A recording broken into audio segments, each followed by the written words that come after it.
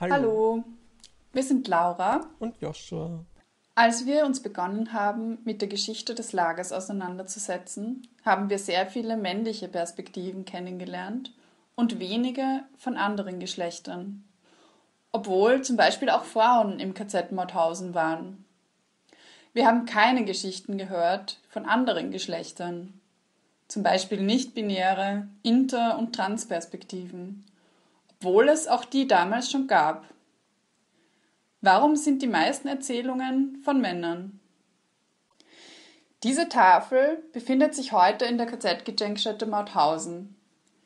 Sie erinnert an die weiblichen Häftlinge, die ab September 1944 im offiziellen Frauenlager des KZ Mauthausen waren. Die Frauen mussten unterschiedliche Formen von Zwangsarbeit leisten, zum Beispiel in der Kriegs- und Landwirtschaft oder im Bereich des Lagers in der Reinigung und Küche. Es wurden jedoch schon vor 1944 Frauen ins KZ Mauthausen gebracht. An diese Frauen wird auf dieser Tafel nicht erinnert.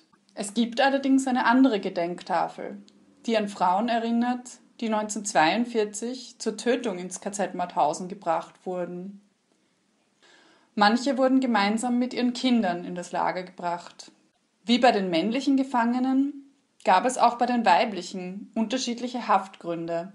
Die Kategorien mussten in Form von sogenannten Winkeln, das waren verschiedenfarbige Dreiecke, sichtbar auf der Häftlingskleidung getragen werden. Je nachdem, in welcher Kategorie eine Frau verhaftet wurde, hatte sie größere oder kleinere Überlebenschancen, wurde mehr oder weniger schlecht behandelt. Die Gefangenen, die rassistisch oder antisemitisch verfolgt wurden, hatten am wenigsten Chancen. Manche Frauen wurden inhaftiert, weil sie dem Bild einer Frau nach den nationalsozialistischen Ansichten nicht entsprachen. Sie wurden als sogenannte Asoziale verfolgt. Im Juni 1942 wurden Gefangene aus dem Frauen-KZ Ravensbrück ins KZ Mauthausen gebracht. Sie mussten im ersten Lagerbordell Sex Zwangsarbeit leisten. Viele von ihnen wurden als sogenannt Asoziale verfolgt.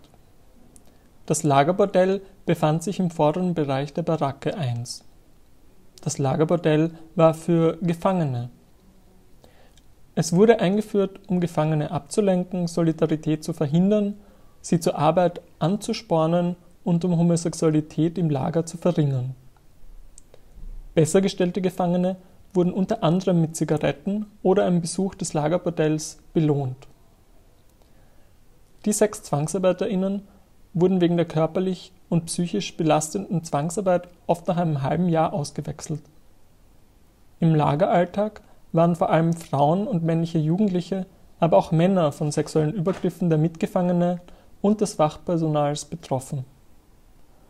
Nach dem Krieg wurden die ehemaligen sechs Zwangsarbeiterinnen weiter gesellschaftlich ausgegrenzt und haben über ihre Erfahrungen geschwiegen. Der Bereich der Baracke 1, in dem sich das Lagerbordell befunden hat, ist nicht öffentlich zugänglich. Hier ist eine Protestaktion vor dem ehemaligen Lagerbordell zu sehen, um an verfolgte Frauen zu erinnern. Die früher vorhandene Informationstafel im Bild fehlt seit mehreren Jahren. Eine Hörstation setzt sich mit dem Lagerbordell auseinander. Einige Gruppen wurden erst sehr spät als Opfer des Nationalsozialismus anerkannt ab 1995 die als homosexuell Verfolgten und erst ab 2005 die sogenannten Asozialen. Warum wird über das Lagerbordell so wenig gesprochen? Und warum wurden manche Opfergruppen ignoriert? Waren Frauen auch Täterinnen? Einige Frauen arbeiteten im Konzentrationslager Mauthausen als Aufseherinnen und Sekretärinnen der SS. Männer der Wachmannschaften lernten mit der Zeit auch die umliegende Bevölkerung kennen, zum Beispiel in Wirtshäusern. Dabei kam es neben geschäftlichen Beziehungen zu Freundinnenschaften und Liebschaften. Daraufhin gab es zahlreiche Hochzeiten, die am Gelände des Konzentrationslagers Mauthausen durchgeführt wurden. Warum trugen die Männer bei den Hochzeiten ihre Uniformen? Oft wird vergessen, dass die Ehefrauen der Täter diese auf verschiedenste Arten unterstützt haben. In der Geschichte der Bevölkerung die nahe dem ehemaligen Lager gewohnt hat, kommen viele Frauen vor. Das liegt unter anderem daran, dass ein Großteil der männlichen Bevölkerung im Krieg oder bei der SS war. Manche dieser Frauen haben das NS-Regime unterstützt. Manche haben aber auch geholfen. Maria Langthaler hat zwei ausgebrochene Häftlinge bei sich und ihrer Familie zu Hause versteckt. Ihr seht ein Bild von der Familie Langthaler und den beiden ehemaligen Häftlingen. Mehr zu dieser Geschichte erfahrt ihr im Video zum Ausbruch aus dem sogenannten Block 20.